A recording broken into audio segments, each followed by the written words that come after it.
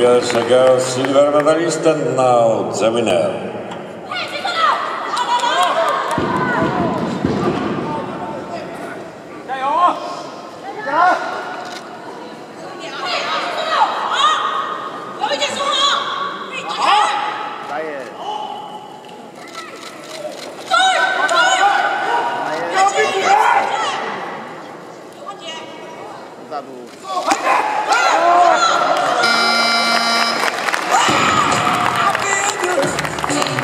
Godrej, Rodas.